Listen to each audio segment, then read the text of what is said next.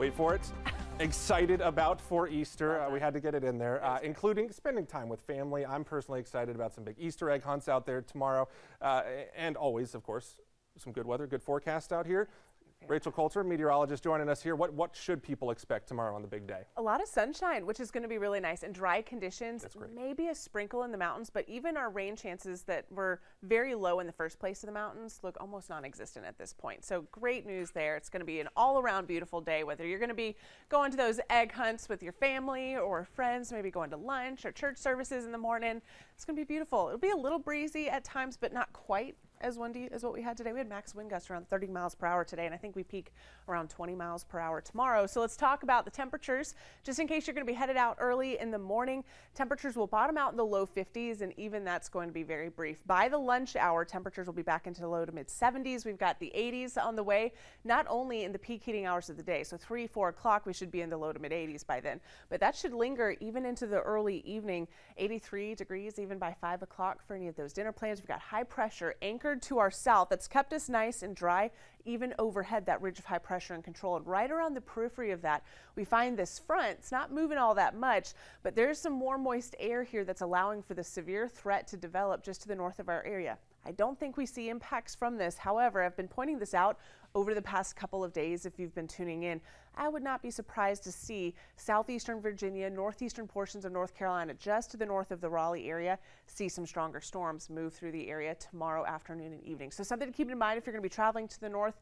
Uh, that'll be something that you'll want to keep in mind for sure. Grab that first alert weather app. If you haven't already, you can check radar and hear alerts if you're going to be traveling to the north. That severe threat will be higher there. Meanwhile, it's just going to be warm and dry here. So mentioned it before, but we're going to be near record territory here the next few days. The best chance that we have of at least tying the record would be on Monday. Still forecasting high temperature two degrees below that record of 86 degrees either way. Very warm conditions here the next few days, all the way through Tuesday. What you're going to notice about Tuesday, the winds are going to be picking back up. We could have wind gusts over 30 miles per hour on Tuesday. Cold front moves through, and it's going to do a couple of things. One, drop our temperatures.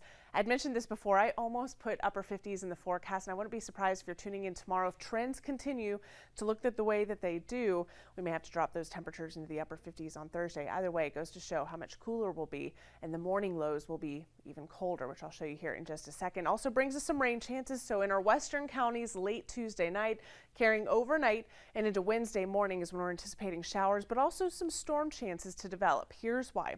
Cold front's going to be approaching the area out of the west, eventually moving over the Carolinas, quickly moving east. We could actually get some wraparound moisture on the back side of all of that. A few snow flurries, certainly a possibility, even in our mountain communities heading out the door by the end of the week. But let's zoom in a little bit closer. We've got some of that higher resolution data starting to come in, and this is what we're going to be watching for come Tuesday. There's going to be some strong, if not severe storms to the west of our area Will they actually hold together as they make it to the mountains by Tuesday evening? That's what we're going to be watching for. All indications are that these will weaken as they move in, but definitely check back in for frequent forecast updates as we get a little bit closer. Timing's going to mean a lot in terms of our severe threat here at home, but I think a big story that you'll notice is that drop in temperature. I mentioned the high temperatures, which are going to be around 60 degrees by Thursday afternoon. We're going to be waking up around 60 degrees on Wednesday morning, back down into the 40s and then even the upper 30s. So we could see some frost in the area, certainly a possibility Friday and Saturday of next week. So here's your seven day forecast, putting it all together for you.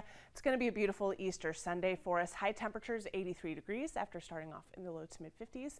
60s, that's your morning low temperatures there on your screen. We're going to be cooler than that by the afternoons here by the second half of the seven day. And then we're waking up in 65 degrees by Tuesday morning. 83 degrees that forecast high temperature. Cold front will bring some scattered showers and storms our way Tuesday night and into Wednesday morning. We'll dry out, but we'll be much cooler by the second half of your seven day forecast.